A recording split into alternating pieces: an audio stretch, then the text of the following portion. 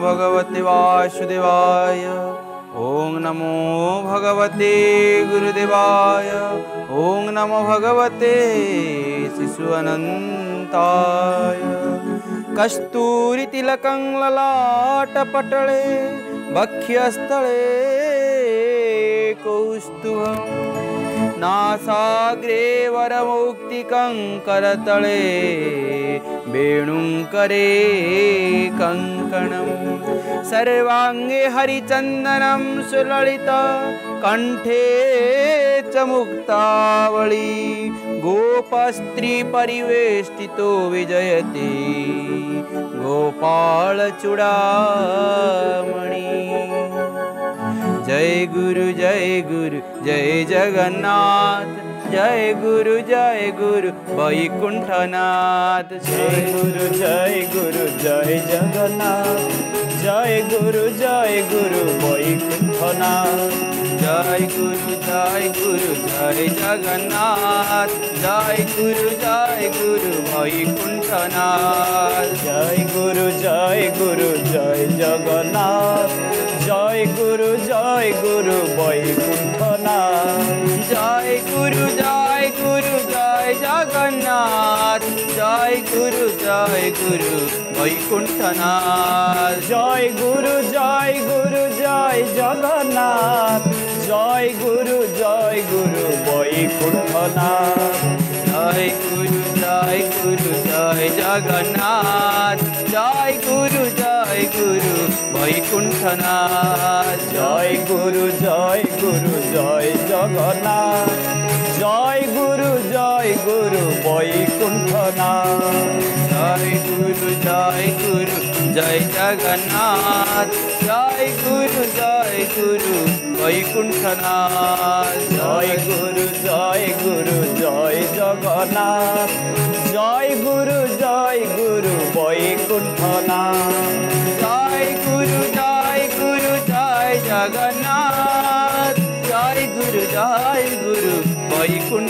জয় গুরু জয় গুরু জয় জগন্নাথ জয় গুরু জয় গুরু বৈকুণ্ঠনাথ জয় গুরু জয় গুরু জয় জগন্নাথ জয় গুরু জয় গুরু বৈকুণ্ঠনাথ জয় গুরু জয় গুরু জয় জগন্নাথ জয় গুরু জয় গুরু বৈকুণ্ঠনাথ ମଦୀୟ ପ୍ରାଣ ଈଶ୍ୱର ପ୍ରାଣନାଥ ମୋର ଗୁରୁଦେବ ବିଶ୍ୱପ୍ରେମୀ ବଳିଆଙ୍କର ଚରଣାରବିନ୍ଦରେ ସେବକ ବିନମ୍ର ପ୍ରଣାମ ନିବେଦନ କରୁଛି ମୋର ଇଷ୍ଟଦେବ ଭଗବାନ କ୍ଷୀରସାଇ ଶିଶୁନନ୍ଦଙ୍କର ଅଭୟ ଚରଣାରବିନ୍ଦରେ ଏ ସେବକ ବିନମ୍ର ପ୍ରଣାମ ନିବେଦନ କରିବା ସହିତ ଆପଣମାନେ ମୋର ପ୍ରତିଟି ଶ୍ରୋତାମାନଙ୍କୁ ଏ ସେବକ ପୁତ୍ର ଭାବରେ ପ୍ରଣାମ ନିବେଦନ କରୁଛି ଅଗଣିତ ଶ୍ରୋତା ପ୍ରତିଦିନ ଶ୍ରବଣ କରୁଛନ୍ତି ଭାବରେ ଭାଗବତ ଅର୍ଗସ୍ ଚ୍ୟାନେଲ ମାଧ୍ୟମରେ।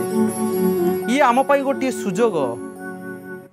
ଯେ ଆମ ପାଇଁ ସୁଯୋଗ ହେଉଥିଲା ବେଳେ ଆମ ଭିତରେ ଥିବା କୁପ୍ରବୃତ୍ତି ଆମ ଭିତରେ ଥିବା କୁଚିନ୍ତାଙ୍କ ପାଇଁ କ'ଣ ହେଉଛି? ଦୁର୍ଯୋଗ ହେଇଯାଉଛି। କାହିଁକି ନା ଆମେମାନେ ଯେତେବେଳେ ଏଇ ଭାବରେ ଭାଗବତ କଥା ଏ ସେବକ ମାନେ କହୁଛି କିମ୍ବା ଆପଣମାନେ ଶ୍ରବଣ କରୁଛନ୍ତି ଆମ ସମସ୍ତଙ୍କ ପାଇଁ ଗୋପାଳ ପାଇଁ ହଉ କିମ୍ବା ଆପଣମାନଙ୍କ ପାଇଁ ହଉ ସେମାନଙ୍କ ପାଇଁ ଦୁର୍ଯୋଗ କାରଣ ସେମାନେ ଆମ ଶରୀର ଭିତରେ ରହିପାରିବେ ନାହିଁ। ଆମ ଭିତରେ ସେଇ ଭଗବତ କୃପାର ବାରିଧି ନିଶ୍ଚିତ ଭାବରେ ଝରି ପଡ଼ିବ।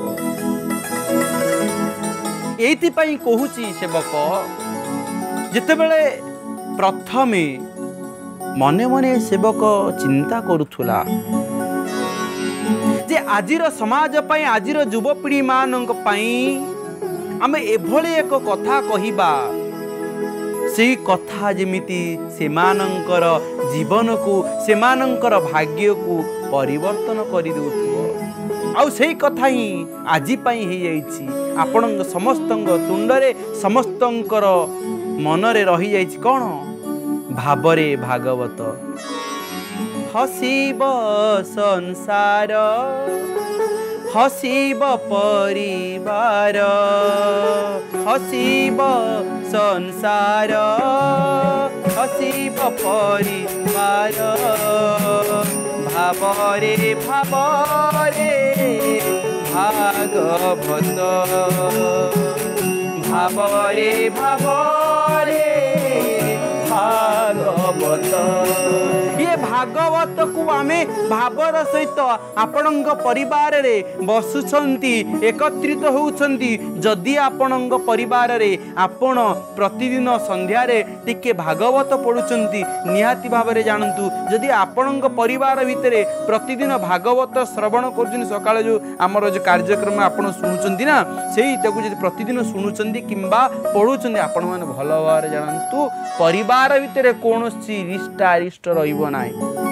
ନିହାତି ଜାଣିବା ଦରକାର। ତ ସେଇଥିପାଇଁ ସେଇ କଥାକୁ ବୁଝିବା ପାଇଁ ସେଇ କଥାକୁ ଜାଣିବା ପାଇଁ ଆମେ ଆମ ଜୀବନ ପାଇଁ ତାଙ୍କ ପ୍ରତି ସେଇ ଭାବ ସେଇ ପ୍ରେମ ସୃଷ୍ଟି କରିବା।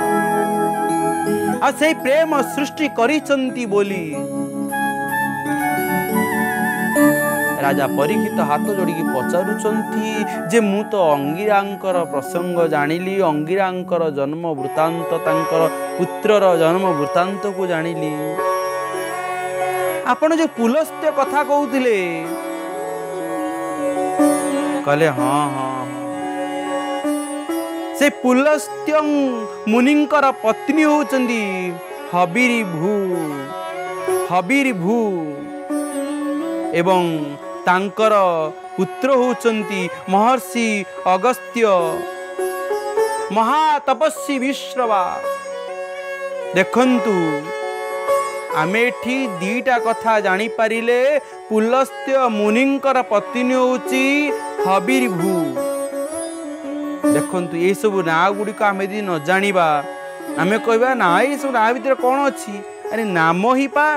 ନାମ ଅଟଇ ମହାବଳ ସେ ବଳେ ଜିଣ ଭୂମଣ୍ଡଳ ଗୋବିନ୍ଦ ଗୋବିନ୍ଦ ଗୋବିନ୍ଦ ମଧୁ ଗଳୁଛି ମକରନ୍ଦ ଏ ତାଙ୍କର ଯୋଉ ଦୁଇ ପୁତ୍ର ଅଗସ୍ତ୍ୟ ମହର୍ଷି ଅଗସ୍ତ୍ୟ ଏବଂ ବିଶ୍ରବା ଏବଂ ସେଇ ବିଶ୍ରବା ମୁନିଙ୍କର ଗୋଟିଏ ପତ୍ନୀ ଥିଲେ ତାଙ୍କ ନାଁ ହେଉଛି ଇଡ଼ ବିଡ଼ା ଇଡ଼ ବିଡ଼ା କି ନାଁ ଦେଖନ୍ତୁ ଇଡ଼ ବିଡ଼ାଙ୍କ ଠାରୁ ମାନେ ଯିଏ ପ୍ରଥମ ପତ୍ନୀ ତାଙ୍କଠାରୁ ଯକ୍ଷରାଜ କୁବେର ଜନ୍ମ ହୋଇଥିଲେ ଏବଂ ଦ୍ୱିତୀୟ ପତ୍ନୀ ହେଉଛନ୍ତି କିଏ କେଶିନୀ ବିଶ୍ରବାଙ୍କର ଦ୍ୱିତୀୟ ଦ୍ୱିତୀୟ ପତ୍ନୀ ହେଉଛନ୍ତି କେଶିନୀ ଯାଙ୍କ ଠାରୁ ଜନ୍ମ ହୋଇଥିଲେ ରାବଣ କୁମ୍ଭକର୍ଣ୍ଣ ବିଭୀଷଣ ଏ ତିନି ଜଣ ଜନ୍ମ ହୋଇଥିଲେ ତାପରେ ଦେଖନ୍ତୁ ସବୁ ମୁନି ଋଷିମାନଙ୍କ ଠାରୁ ଜନ୍ମ ହୋଇଛନ୍ତି। କିନ୍ତୁ ତା ଭିତରେ ଦେଖନ୍ତୁ ଆପଣମାନେ ଜାଣିଛନ୍ତି ଯେଉଁ ଦ୍ୱିତୀୟ ପତ୍ନୀ ବିଶ୍ରବାଙ୍କ ଋଷିଙ୍କର ଦ୍ୱିତୀୟ ପତ୍ନୀ ଯେ କେଶିନୀ ତାଙ୍କଠାରୁ ଜନ୍ମ ହୋଇଛନ୍ତି ରାବଣ କୁମ୍ଭକର୍ଣ୍ଣ ବିଭୀଷଣ। ରାବଣ ରାବଣ କୁମ୍ଭକର୍ଣ୍ଣ କୁମ୍ଭକର୍ଣ୍ଣ ବିଭୀଷଣ ବିଭୀଷଣ। କିନ୍ତୁ ବିଭୀଷଣ ହେଉଛନ୍ତି ଭକ୍ତ। କିନ୍ତୁ ରାବଣ ହେଇପାରିଲେନି ଭକ୍ତ କାହିଁକି ମନର ଭାବ ମନର ଭାବକୁ ନେଇକି ଯେଉଁଭଳି ଭାବରେ ଏ ସନ୍ତାନମାନେ ସୃଷ୍ଟି ହେଇଛନ୍ତି ତାଙ୍କର କାର୍ଯ୍ୟ ମଧ୍ୟ ସେଇଭଳି ଚାଲିଛି ଯେତେବେଳେ ବିଭୀଷଣଙ୍କୁ ଦିନେ ପଚରାଗଲା ହେ ବିଭୀଷଣ ଏ ଲଙ୍କାପୁରୀରେ ତୁମେ ଅଛ ଏ ଲଙ୍କାପୁରୀରେ ରହିକି ତୁମେ କେମିତି ଭଗବାନଙ୍କୁ ଡାକୁଛ କେମିତି? ବିଭୀଷଣ ସେଇଭଳି ଭାବରେ ଗୋଟେ କଥା କହିଲେ କହିଲେ ତୁମେ ଜାଣିଛ ଜିଭ ଯେଭଳି ଭାବରେ ଦାନ୍ତର ଚତୁଃପାର୍ଶ୍ୱ ଭିତରେ ଥାଇ ମଧ୍ୟ ଜୀବ ସୁରକ୍ଷିତ ଥାଏ ମୁଁ ମଧ୍ୟ ରାକ୍ଷସ ମାନଙ୍କ ଭିତରେ ଥାଇ ମଧ୍ୟ ପ୍ରଭୁଙ୍କ ନାମ ନେଉଥିବାରୁ ମୁଁ ସୁରକ୍ଷିତ ଅଛି ଏବଂ ସେଇଭଳି ଭାବରେ ଆନନ୍ଦରେ ଅଛି ନମ୍ରତାରେ ଅଛି। ଏ କଥା କ'ଣ ଆମ ଜୀବନ ପାଇଁ ନୁହଁ? आईपाई भक्त सबुबले भगवान को विश्वास करी पारे एवं भक्त भगवान को विश्वास करवा उचित आदि भक्त भगवान को विश्वास करना तेबे जा जीवन हसु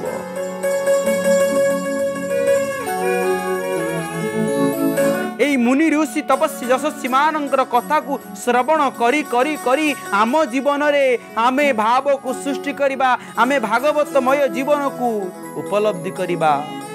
ଭାଗବତ ଯେଉଁଠି ଭାବ ରହିଛି ଯେଉଁଠି ଭକ୍ତମାନଙ୍କର କଥା ରହିଛି ସିଏ ତ ହଉଛି ଭାଗବତ। ଜଣେ ଜମିଦାର ଥିଲେ। ଏ ଜମିଦାର ଜଣଙ୍କ ମହାନ ଜ୍ଞାନୀ ଥିଲେ ଜମିଦାର ଖାଲି ନୁହଁ ମହାନ ଜ୍ଞାନୀ ଥିଲେ ଜମିଦାର। କିନ୍ତୁ ତାଙ୍କର ଆଉ ବେପାର ଠିକ ଭାବରେ ଚାଲୁନି ତାଙ୍କ ପାଖକୁ ଧନ ସମ୍ପତ୍ତି ଆସୁନାହିଁ। ତେଣୁ ଜମିଦାର ଜଣକ ସେ ଶୁଣିଥିଲେ ଯେ ବୃନ୍ଦାବନରେ କିମ୍ବା ପୁରୀଧାମରେ ଯେଉଁଠି ଭଗବାନ ଜଗନ୍ନାଥ ଆବିର୍ଭାବ ହୋଇଛନ୍ତି ପୁରୀଧାମରେ କିମ୍ବା ବୃନ୍ଦାବନରେ ବାଙ୍କ ବିହାରୀଙ୍କର ଲୀଳାସ୍ତରୀ ସେଠିକି ଚାରିଆଡ଼େ ପ୍ରଭୁଙ୍କର ନାମ ସେ ଶୁଣିଛନ୍ତି ପ୍ରଭୁଙ୍କର ନାମ ଜାଣିଛନ୍ତି। ତ ସେ କ'ଣ କଲେ ନା ଧାଇଁ ଧାଇଁ ବୃନ୍ଦାବନକୁ ଚାଲିଗଲେ। କହିଲେ କୌଣସି ସାଧୁଙ୍କ ପାଖରେ ପହଞ୍ଚିଗଲେ କାଳେ ମୋ ଜୀବନ ପରିବର୍ତ୍ତନ ହେଇଯିବ ମୋର ପୁଣି ଧନ ସମ୍ପତ୍ତି ବଢ଼ି ଉଠିବ। ଯେତେବେଳେ ସେ ସାଧୁଙ୍କ ପାଖରେ ପହଞ୍ଚିଗଲେ ସାଧୁ କହୁଛନ୍ତି ଏ ଜମିଦାର ତୁମେ ଆସିଛ ମୁଁ ତୁମକୁ କି ସହଯୋଗ କରିବି? କହିଲେ ସହଯୋଗ କେବଳ ଏତିକି। ମୁଁ ଆସିଛି ବହୁ ଦୂରରୁ। ମୋର ବିଶ୍ୱାସ ଅଛି ଆପଣ ମୋ ଭାଗ୍ୟ ପରିବର୍ତ୍ତନ କରିଦେବେ। କହିଲେ କହିଲେ ଦେଖ ଭାଗ୍ୟ ପରିବର୍ତ୍ତନ କରିବା ବାଲା ହେଉଛି ଜଣେ ସେଇ ଭଗବାନ କୃଷ୍ଣ। ଆମେ ତାଙ୍କ ନାମକୁ ତାଙ୍କ ଗୁଣଗାନକୁ ଆମେ କୀର୍ତ୍ତନ କରୁଛୁ। ତମେ ତାଙ୍କ ନାମ ନିଅ ଦେଖିବ ତମ ଭାଗ୍ୟ ମଧ୍ୟ ପରିବର୍ତ୍ତନ ହେଇଯିବ। ଆରେ ଆରେ ଆରେ ଏମିତି କଥା। ଠିକ ସେଇ ସମୟରେ ଭଗବାନଙ୍କର ଦ୍ୱାର ମନ୍ଦିରର ଦ୍ୱାର ସେହି ସମୟରେ ଖୋଲିଲା ଜମିଦାରଙ୍କର ଆଖି ପଡ଼ିଗଲା ସେଇ ଶ୍ରୀକୃଷ୍ଣ ମୂର୍ତ୍ତି ସେଇ ବିଗ୍ରହ ଉପରେ ଆଖି ପଡ଼ିଗଲା। ଚାହିଁଦେଲେ ଥରେ କୃପା ନୟନରେ। ଚାହିଁଦେଲେ ଥରେ କୃପା ନୟନରେ କିଏ ଚାହିଁବ? ମନେ ମନେ ଚିନ୍ତା କରୁଛନ୍ତି ଜଣେ ଜମିଦାର ଆଜି ମୋ ପାଖରେ ଧନ ସମ୍ପତ୍ତି ନାହିଁ। ମୁଁ ଏତେ ଦୂର ପ୍ରଭୁ ତମ ପାଖକୁ ଆସିଥିଲି। ଆପଣ ଯଦି କୃପା ନୟନରେ ନ ଚାହାନ୍ତି ତାହେଲେ ଆଉ କିଏ ଚାହିଁବ? ହେ କୃପାର ବାରିଦି ଆପଣ ଟିକେ ସେ କୃପାର ନୟନରେ ମତେ ଟିକେ ଚାହିଁ ଦିଅନ୍ତୁ। ଭଗବାନ ହଉଛନ୍ତି କରୁଣାମୟ ଲୀଳାମୟ। ସିଏ କ'ଣ କଲେ? ନା କୃପା ନୟନରେ ଚାହିଁଛନ୍ତି କି ନାହିଁ ଆମେ ଜାଣିନେ। କୃପା ନୟନରେ ଚାହିଁଛନ୍ତି ନାହିଁ ସେ ଜମିଦାର ଜାଣିନାହିଁ କୃପା ନୟନରେ ଚାହିଁଛନ୍ତି କି ନାହିଁ ସେ ସାଧୁ ମଧ୍ୟ ଜାଣିନାହାନ୍ତି ସାଧୁ କହିଲେ ଆମର ଗୋଟିଏ ହେଉଛି ନାମ ରାଧେ ରାଧେ ରାଧେ ରାଧେ ରାଧେ ରାଧେ। ଆମେ ରାଧାଙ୍କର ନାମ ନଉ। ଆମେ ସେ କୃଷ୍ଣଙ୍କର ନାମ ନଉ। ଆଉ ଆମ ପାଖରେ କିଛି ନାହିଁ। ସାଧୁ ସେଦିନ ଜମିଦାରଙ୍କୁ ରହିବା ପାଇଁ ଗୋଟିଏ ଘର ଦେଲେ ଏବଂ ସେ ଘରେ ହିଁ ରହିଗଲେ ଇଏ। ରାତି ହେଇଛି ଶୟନ କକ୍ଷରେ ଜମିଦାରଙ୍କୁ ଗୋଟିଏ ଶୟନ କକ୍ଷ ଦିଆଯାଇଛି। ଶୟନ କକ୍ଷରେ ଗୋଟିଏ ଭାଗବତ ଅଛନ୍ତି। ସେ ଭାଗବତ ବାଉଙ୍ଗମୟ ମୂର୍ତ୍ତି ସେ ଶାସ୍ତ୍ରକୁ ଦେଖୁଛନ୍ତି ଏବଂ ଗୋଟେ ପରେ ଗୋଟିଏ ପୃଷ୍ଠା ଓଲଟଉଛନ୍ତି। ଆହା କେଡ଼େ ସୁନ୍ଦର କଥା ଲେଖାଯାଇଛି ମୁଁ। ପଢ଼ିଦେଲେ ଗୋଟେ ପରେ ଗୋଟେ ପଦ ପଢ଼ୁଛନ୍ତି ଗୋଟେ ପରେ ଗୋଟେ ପୃଷ୍ଠା ଓଲଟଉଛନ୍ତି ଏବଂ ଗୋଟେ ପରେ ଗୋଟେ ପୃଷ୍ଠା ଏମିତି ଯେତେବେଳେ ଓଲଟଉଛନ୍ତି ସିଏ ମନେ ମନେ ତାଙ୍କ ଭିତରେ ରୋମାଞ୍ଚ ଆସିଯାଉଛି। ଆପଣ ବି ନିଜ ଘରେ ଆପଣ ହିଁ ପରୀକ୍ଷା କରନ୍ତୁ। ଟିକେ ଭାଗବତ ପଢ଼ନ୍ତୁ ଦେଖିବେ। ଗୋପାଳ କହିଲା ଆଜି ସକାଳେ ଆପଣ ଶୁଣିଲେ ଆପଣ ଆଜି ସନ୍ଧ୍ୟାରେ ଟିକେ ଭାଗବତରେ ଗୋଟିଏ ପଦ ପଢ଼ି ଦିଅନ୍ତୁ। ଯଦି ଆପଣଙ୍କ ମନ ଭିତରେ ଟିକେ ମାନସିକ ଚାପ ବଢ଼ିଯାଇଛି ନିଶ୍ଚିତ କମିବ ନ କମିଲେ ଆପଣ ମୋତେ କହିବେ। ମାନସିକ ଚାପ କମିଯିବ ମନ ଭିତରେ ଆନନ୍ଦ ଆସିବ ମୁଖରେ ପ୍ରଫୁଲ୍ଲତା ଆସିଯିବ। କି ଆନନ୍ଦ ଆସିଯିବ? ପଢ଼। ଯେତେ ଯେଉଁଥିରେ ସମୟ ଦଉଛ ମାତ୍ର ପାଞ୍ଚ ମିନିଟ୍ ସମୟ ଦିଅ। ଆଉ ସକାଳେ ଟିକେ ଭାବରେ ଭାଗବତ ଶ୍ରବଣ କରୁଛ ଦେଖ ଅନୁଭବ କର। ହଁ ଆଉ ସେଇଥିପାଇଁ ସେଇ କଥାକୁ ବିଚାର କରି ସାଧୁଙ୍କ ପାଖରୁ ସେଦିନ ରାତି ପାଇଯାଇଛି ବିଦାୟ ନେଇଛନ୍ତି ସାଧୁଙ୍କ ପାଖରୁ। ଧୀରେ ଧୀରେ ଜମିଦାରଙ୍କର ଅଭ୍ୟାସ ପଡ଼ିଗଲା ଅଭ୍ୟାସରେ ପରିଣତ ହେଇଗଲା। ସେ ପ୍ରତିଦିନ ସେ ଭାଗବତ ପଢ଼ିଲେ ପ୍ରତିଦିନ ସେ ଭଗବାନ କୃଷ୍ଣଙ୍କୁ ଗୁରୁଙ୍କ ସ୍ୱରୂପରେ କାରଣ କୃଷ୍ଣଙ୍କ ବନ୍ଦେ ଜଗତ ଗୁରୁ ସେ ଜଗତ ଗୁରୁଙ୍କୁ ଡାକୁଛନ୍ତି। ଦିନ ପରେ ଦିନ ଗଡ଼ି ଚାଲିଛି ଭଲ ବେପାର ହେଲା। ଗଡ଼ରେ ଜୀବିତରେ ଟଙ୍କା ଧୀରେ ଧୀରେ ଫୁଲ ହେଲା ସିନ୍ଧୁକରେ ଟଙ୍କା ଫୁଲ ହେଲା ଧନ ବଢ଼ି ଚାଲିଲା। ଇଏ ଧନ ବଢ଼ୁଛି ଜନ ବଢ଼ୁଛି ତା ସହିତ ତାଙ୍କର ଧର୍ମ ମଧ୍ୟ ବଢ଼ି ବଢ଼ି ଚାଲିଛି ବୟସ ହେଇଗଲା ବୟସ କାହାକୁ ଅପେକ୍ଷା କରିନି? ନା ଆପଣଙ୍କୁ ଅପେକ୍ଷା କରିବ ନା ମୋତେ ଅପେକ୍ଷା କରିବ? ଆମ କାହାକୁ ଅପେକ୍ଷା କରିବନି? ତେଣୁକରି ସେଦିନ ମଧ୍ୟ ତାଙ୍କୁ ଆଉ ବୟସ ଅପେକ୍ଷା କରିନି ନିରବତାର ସହ ବସିଯାଇଛନ୍ତି କ'ଣ କରିବେ ଭାବୁଛନ୍ତି? ଆଉ ସେ ବୃନ୍ଦାବନ ଯାଇପାରୁନାହାନ୍ତି। ଗାଁର ଜଣେ ବ୍ୟକ୍ତି ଆସିକି ପହଞ୍ଚିଲା ଜମିଦାରଙ୍କ ପାଖରେ। କହିଲା ଜମିଦାର ଆପଣଙ୍କୁ ପ୍ରଣାମ ଜଣାଉଛି ଏବଂ ମୁଁ ବୃନ୍ଦାବନ ଯାଉଛି। ଜମିଦାର ଜଣକ ଆଜି ବୃନ୍ଦାବନ ଯାଇପାରୁନାହାନ୍ତି। କିନ୍ତୁ ସେ ଯେଉଁ ଯୁବକ ବୟସରେ ଧନ ପାଇଁ ହଉ କିମ୍ବା ମନ ପାଇଁ ହଉ ବୃନ୍ଦାବନ ଯାଇଥିଲେ ସେ ବୃନ୍ଦାବନ ଯାଇଥିବାରୁ କିମ୍ବା ଗୁରୁଙ୍କର କ୍ଷେତ୍ର ଯାଇଥିଲେ ଆପଣମାନେ ସମସ୍ତେ ଏହି ଯୁବକ ବୟସରୁ ହିଁ ଜଗନ୍ନାଥ ଧାମ ପୁରୀକି ଯାଆନ୍ତୁ ଠାକୁରଙ୍କର ଦର୍ଶନ କରନ୍ତୁ କିମ୍ବା କୌଣସି ଗୁରୁଙ୍କ ପାଖକୁ ଯାଆନ୍ତୁ। ଆପଣଙ୍କ ମନ ଭିତରେ ଯେଉଁ ଗୁରୁକୁ ଆପଣ ଚିନ୍ତନ କରୁଛନ୍ତି ଯେଉଁ ଗୁରୁଙ୍କୁ ଆପଣ ଭଲ ପାଉଛନ୍ତି ଯେଉଁ ଗୁରୁଙ୍କ ପ୍ରତି ଆପଣଙ୍କର ଶ୍ରଦ୍ଧା ଅଛି ସମ୍ମାନ ସବୁ ଗୁରୁଙ୍କୁ ରଖିବେ। ସମ୍ମାନ ସବୁ ଗୁରୁଙ୍କୁ ଦେବେ ପ୍ରଣାମ ସବୁ ଗୁରୁଙ୍କୁ କରିବେ। ଜମିଦାର ଜଣକ ଯୁବକ ବୟସରୁ ଏତିକି କଥା କରିଥିବାରୁ ଆଜି ତାଙ୍କ ମୁଖରେ କୃଷ୍ଣ ନାମ ରହିଛି ରାଧାଙ୍କ ନାମ ରହିଛି। ଭାଗବତ ଟିକେ ପଢି ପାରୁଛନ୍ତି। ଯାଇ ନ ପାରିଲେ ବି ଅତୀତର ସ୍ମୃତି ଅତୀତର ଚିନ୍ତନ ଅତୀତର ସେହି ଦିବ୍ୟ କାନ୍ତିକୁ ମନେ ପକାଇ ପାରୁଛନ୍ତି।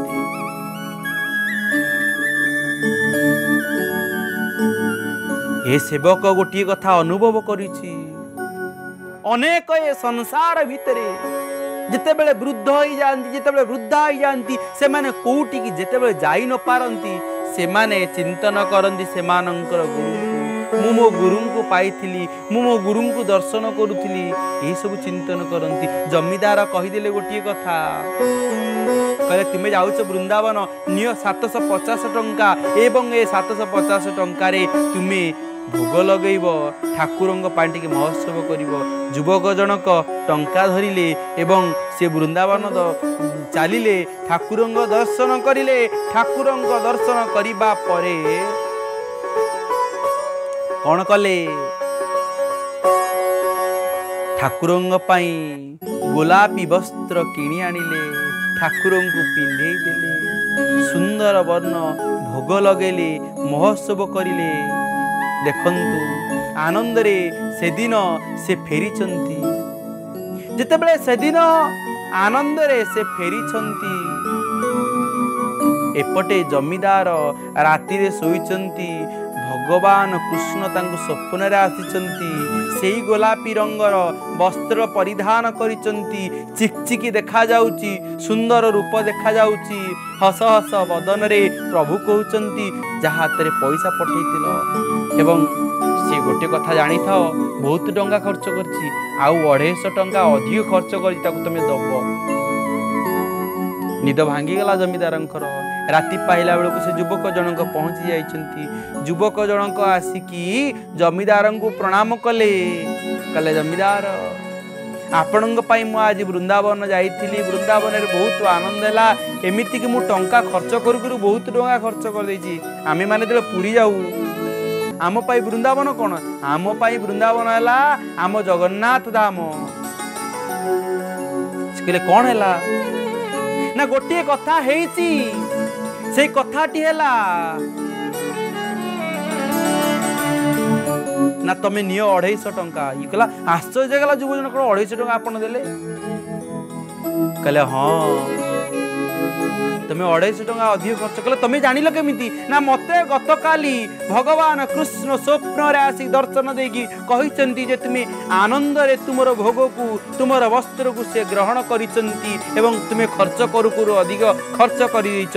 ପ୍ରିୟ ସଜ୍ଜନ ଖର୍ଚ୍ଚ ତାଙ୍କ ପାଇଁ କର ତମେ ଗୋବିନ୍ଦଙ୍କ ପାଇଁ କର ସେ କୃଷ୍ଣଙ୍କ ପାଇଁ କର ଗୁରୁଙ୍କ ପାଇଁ କର ଏବଂ ଧର୍ମାନୁଷ୍ଠାନ କାର୍ଯ୍ୟରେ ଖର୍ଚ୍ଚ କର ଯେତେ ଦାନ କରିବ ଯେତେ ଧର୍ମର କାର୍ଯ୍ୟ କରିବ ସେତେ ମଧ୍ୟ ବିକାଶ ଘଟିବ ଏହା ସତ୍ୟ କଥା। ତେଣୁକରି ଯେମିତି ଆମେ ଦେଉଥିବା ଆମ ଜୀବନରେ ଆମେ ସେମିତି ହିଁ ପାଉଥିବା। ତେଣୁ ପ୍ରିୟ ସଜ୍ଜନ ସେଇଭଳି ଭାବରେ ଭାବରେ ଭାଗବତକୁ ଆମେ ଶ୍ରବଣ କରୁଛେ କାହିଁକି? ନା ପ୍ରତିଦିନ ଆମେ ଅଭ୍ୟାସ କରିଦେବା। ଅଭ୍ୟାସ ବଳେ ଶିଶୁ ଯଥା ଶିଖଇ କ୍ରମେ କହି କଥା। ଅଭ୍ୟାସ ଯୋଗ ଯୁକ୍ତେନ ଅଭ୍ୟାସ ହିଁ ସବୁଠାରୁ ବଡ଼ ଯୋଗ ଯେଉଁମାନେ ପ୍ରତିଦିନ ସକାଳୁ ଉଠି ଭାବରେ ଭାଗବତ ଶ୍ରବଣ କରୁଛନ୍ତି। ଏହା ହେଉଛି ସବୁଠାରୁ ବଡ଼ ଯୋଗ। ତେଣୁ ପ୍ରିୟ ସଜ୍ଜନ ଆମେ ସେଇ ଅଭ୍ୟାସ କରିବା। ଯେଉଁ ଅଭ୍ୟାସ ଦ୍ୱାରା ଆମ ଜୀବନ ହସି ଉଠିବ ଆମ ପରିବାର ଉଠିବ ଆମ ସଂସାର ମନ ଭଜ ମନ ଭଜ ମନ ଭଜ ମନ ভজমন ভজুতারে ভাগবত কথা তুলে খাই। মুন্ডে বলি অযুথারে ব্যথা তুলে গাই। মুন্ডে বলি অযুথারে ব্যথা। ভজমন ভজমন ভজমন ভজ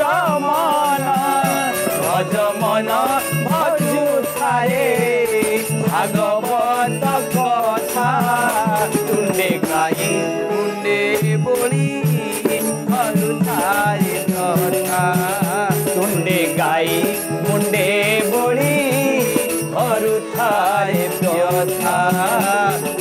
व्याई कुनै बोरी अरू थारे व्यथा सुन्ने गाई